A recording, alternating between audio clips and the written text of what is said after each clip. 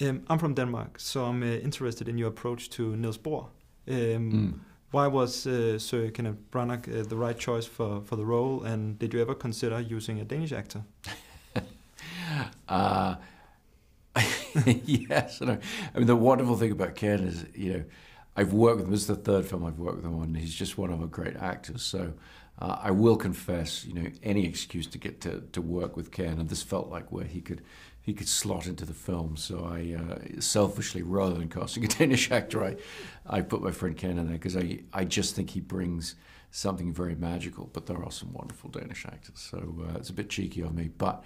Um, I think he did a pretty good job with the accent. It certainly sounded good to me. I hope I hope you agree.